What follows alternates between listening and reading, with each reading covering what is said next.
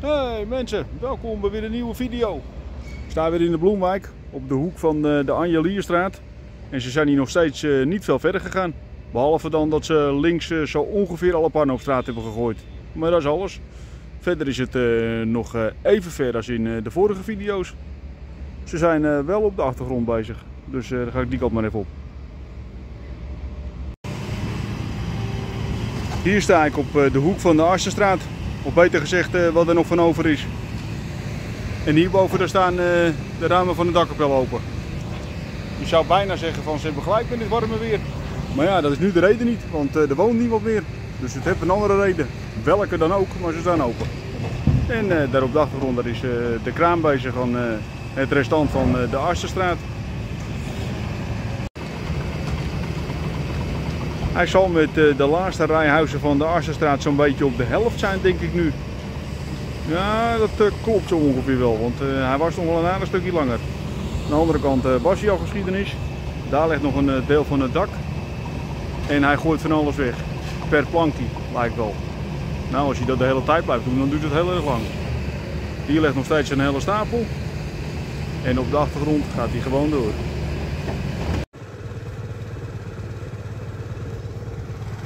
Het hek staat nog steeds omhoog. Waar ik in de laatste video onderdoor ging. Nou, dan hebben ze die video nog niet gezien, anders hadden ze hem wel teruggezet. Dus even verder gaan kijken. Vreemd gezicht zo zonder die dakpannen. Alleen nog een aantal op het hoekje. Dat eh, geeft nog een beetje aan hoe het was. Weer even verder kijken. Hier aan de achterkant ook allemaal dakpannen. Hier nog niet. En eh, daar aan de achterkant van de Arsenstraat wel. Dus even van de voorkant kijken daar ook. De Arsenstraat. Of eh, beter gezegd eh, de helft daarvan. Of nog beter gezegd. De helft van de helft. Ja, dat is eigenlijk het beste. Het schiet al eh, aardig op daar ook. Ja, ze zijn aardig richting de helft van het huizenblok hier. Waar al boven een deel van de pannen weg is. Onder leggen ze nog. Maar dat zullen ze wel laten leggen. Dat zal wel meegaan als ze het dak eraf gaan halen. De meeuwen verstoppen zich achter de auto. Nou, ik heb ze gezien hoor, want ik sta aan deze kant. Tjo. Elke keer weer. Wat een vreemd gezicht dit. Ja, het ziet er eh, onwerkelijk uit. Zeker als je een wijk zo lang gekend hebt.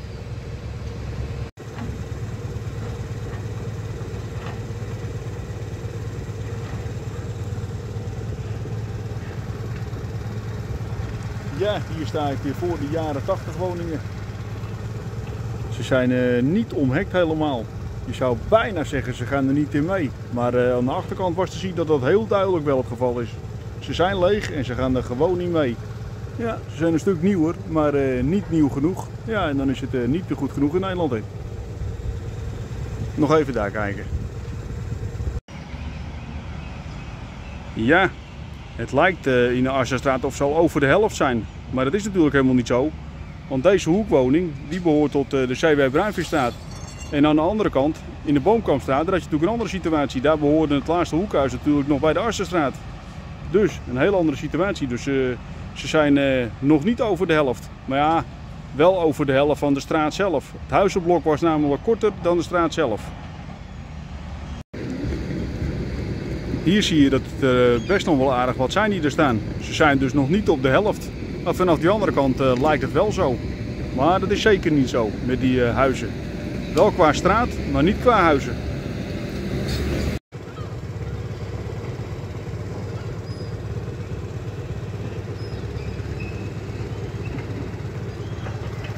Best een vreemd idee eigenlijk.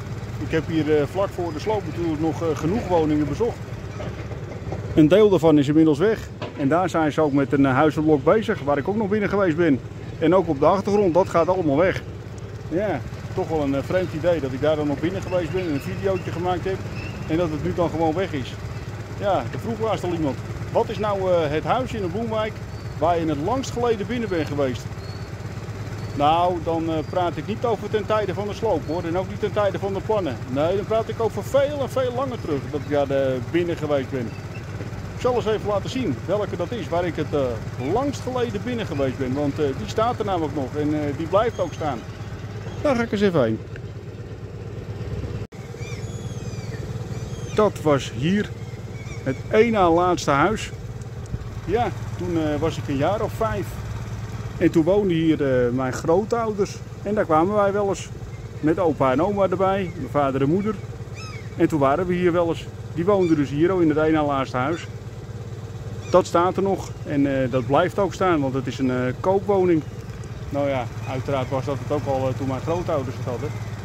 Later zijn ze naar een uh, bejaardenhuis gegaan en toen is het verkocht. Maar daar ben ik dus het langst geleden binnen geweest in de Bloemwijk. Ja, langer terug kan het niet voor mij. Ik kan het me wel nog herinneren dat we bij zo'n visite gingen. Ja, mijn geheugen is wel vrij goed. Ja, het me nog zo voor de geest halen, die mensen. Het was ook altijd gezellig om erheen te gaan. Die woonden daar dus in het één na laatste huis in uh, de Eikelenbergstraat. Het is daar niet natuurlijk helemaal verbouwd. Het heeft ook andere kozijnen. Nou, van binnen. Nou, hoe dan ook is er geen enkele herkenning meer natuurlijk. Nee, dat houdt natuurlijk gewoon helemaal op. Maar het is nog wel het huis. Het staat er nog en het blijft ook staan. En dan nog een huis waar ik lang geleden voor het eerst binnenkwam. Dat stond hier op de hoek. En het adres dat was toen in eh, de Grensstraat. De deur die zat aan de zijkant. Nu is het een adres van eh, de Eikelenbergstraat. Maar die stond dus hier. Maar die is ook nog in eh, video's te zien geweest, want toen stond hij er nog.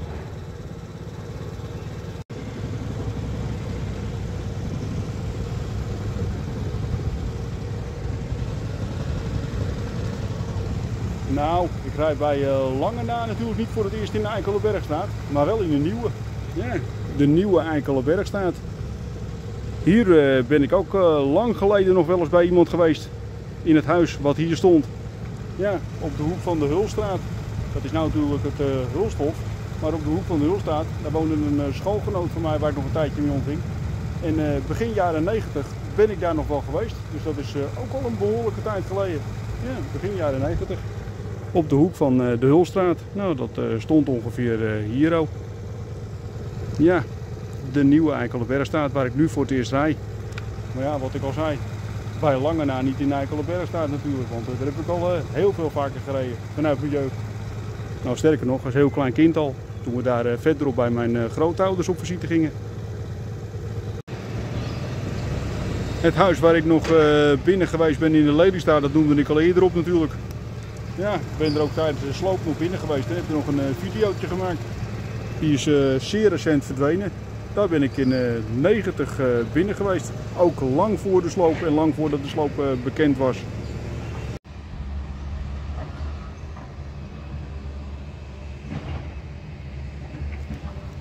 Ja, toch nog wel een historie met de Bloemwijk. Ondanks dat ik er zelf niet woonde.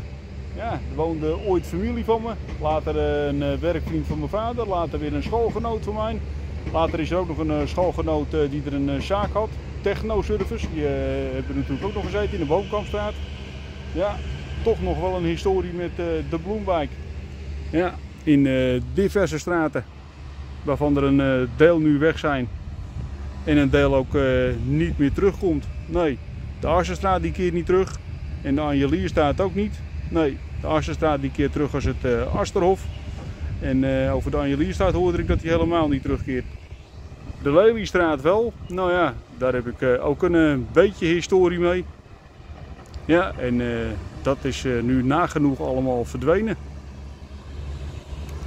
Ik ga nu ook weer verdwijnen. En ik ga niet weer zeggen, tot de volgende.